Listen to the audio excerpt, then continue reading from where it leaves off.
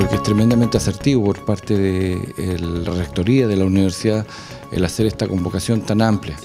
Eh, para que allí se viertan todas las iniciativas, las experiencias cotidianas y con ello lograr una propuesta de desarrollo regional eh, multisectorial y multiterritorial y con ello dar un salto cualitativo eh, para el bienestar de las personas en la región del Biobío. Hay que felicitar a la universidad por esta iniciativa.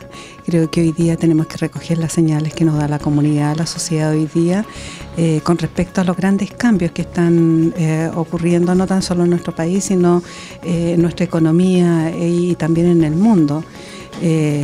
tenemos que darnos cuenta de que el cambio ya cambió y que hoy día estamos frente a un nuevo paradigma. Entonces, esas señales las tiene que recoger las universidades en general y que sea esta oportunidad de la Universidad del Bio, Bio y que esté invitando a distintos sectores económicos, lo encuentro realmente muy bueno, muy positivo.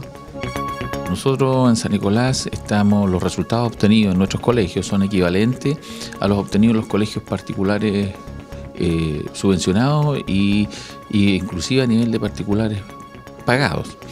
Eh, en tanto en la enseñanza básica como en la enseñanza media. Y eso también ha sido con eh, un poco el apoyo que hemos obtenido desde la Universidad del Bio Bio a través de su departamento de extensión y su departamento de historia.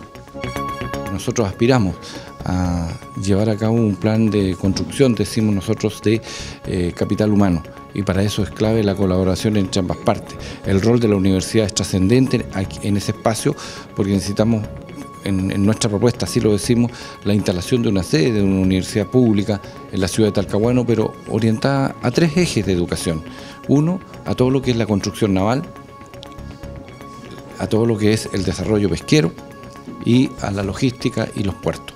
Creo que esas son las tres fuentes de desarrollo y eh, de construcción de capital humano y por tanto los espacios para el desarrollo de las personas en la ciudad y en la región del Biobío.